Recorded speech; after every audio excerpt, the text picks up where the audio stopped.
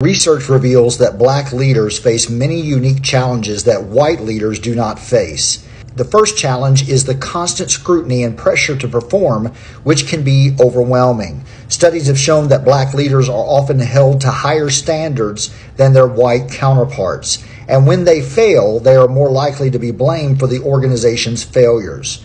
This scrutiny can lead to feelings of isolation and burnout.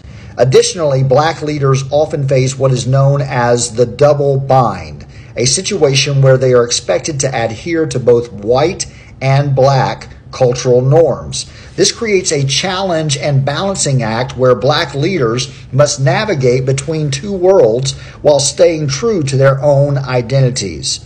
Research suggests that this constant balancing act can be emotionally and mentally draining.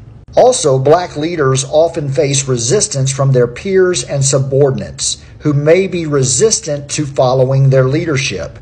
This resistance can stem from both conscious and unconscious biases, which can be difficult to address. A study conducted by the Center for Talent Innovation found that 64% of black professionals reported that they faced bias from their colleagues. Black leaders often face limited opportunities for advancement.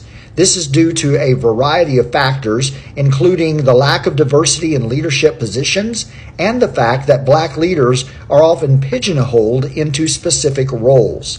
A study conducted by the Center for American Progress found that only 10% of Fortune 500 CEOs are black. Black leaders often face the challenge of being perceived as a threat this perception can be due to the unconscious biases that people hold, and it can be manifested in the form of microaggressions, such as being interrupted during meetings or having their ideas dismissed without consideration. A study conducted by the Harvard Business Review found that black professionals were 3.5 times more likely than their white counterparts to report experiencing racial bias in the workplace.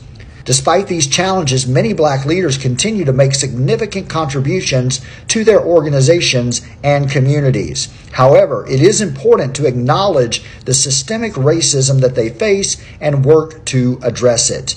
The challenges faced by black leaders due to systemic racism are numerous and significant, including constant scrutiny and pressure to perform, navigating the double bind, facing resistance from peer and subordinates, and limited opportunities for advancement, and being perceived as a threat. It is crucial that we recognize and work to address these challenges to create a more equitable and inclusive workplace for all leaders.